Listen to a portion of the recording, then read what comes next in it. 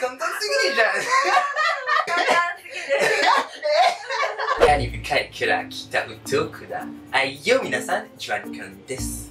今日はフランスの高級ブランドの名前の発音の練習をします。そのため、チカさんを呼んできました。チカさんはね、モデルの活動をやってますので、本当にいい写真載せてますので、ぜひぜひ、チカさんのインスタを見てみてください。一番目の部分なんですけれども、チカさんは日本語でフランスのブランドを言ってから、僕はフランス語で言います。で、2番目の部分なんですけど、ゲームみたいやりましょう。僕はフランス語でブランドの名前を言って、で、みんな、そしてチカさんも当ててみてください。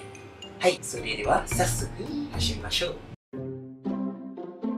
シャネルシャネル、ルイ・ヴィトン。ルイ・ヴィトンとか、ルイ・ヴィトンも言えます。ディオール。ディオー、カルティエ。うんうん、ギャルティ全然違エ。そうだね。うエルメス。エルメス、イグ・サンローラン。イーヴ・センローラン、ランコムランコム、ジバンシー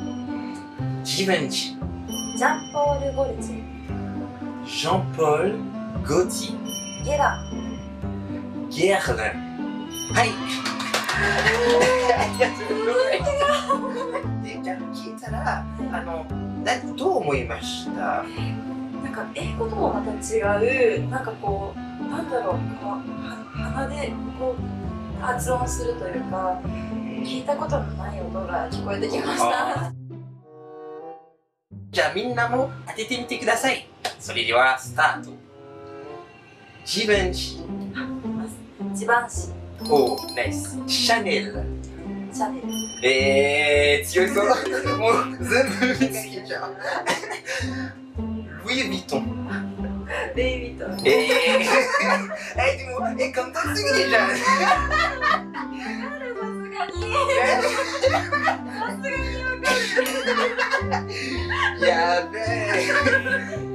エルメス。るエルメスオッケー。あとは、ディオー。ディオールまあ、簡単、簡単。え、これは簡単すぎるか、違うは強いすぎるか。え違います簡単すぎるイーヴ・センローラン。イブ・サンローランオッケー。ゲール。ゲラうーん。少しがっかりしてる。でもあれが残ってるぞそうだね。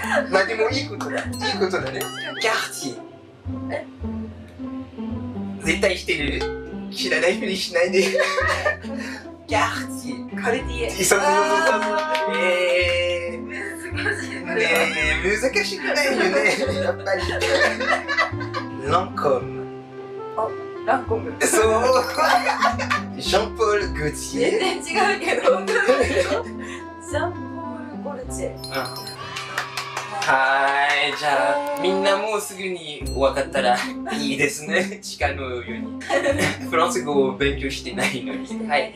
じゃあ、それでは、あの、そういうブランドについて、もっと詳しく知りたかったら、ぜひぜひコメントの方に、あの、教えてください。そして、ブランドは何個聞き取れましたか？あの、コメントの中で教えてください。